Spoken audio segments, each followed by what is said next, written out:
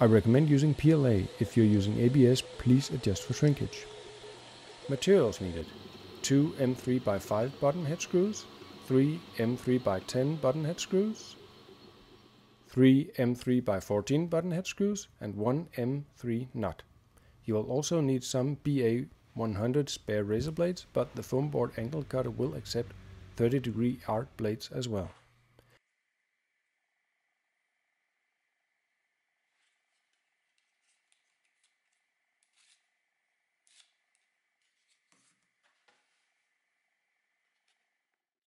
Before applying glue, do a dry fit first to make sure the parts fit snugly together. Also make sure that the blade can move freely.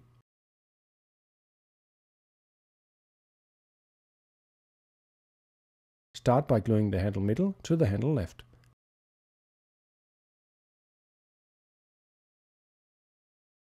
Then join handle right using the M3x14 and M3x5 button head screws. Add an angle block of your choice using the three M3x10 button head screws.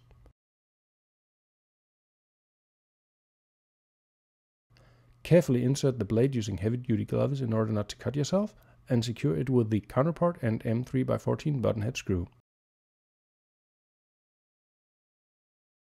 Insert the M3 nut into the knurled knob and fasten it to the M3x14 button head screw. Now share your pictures of your build on Thingiverse to show some appreciation.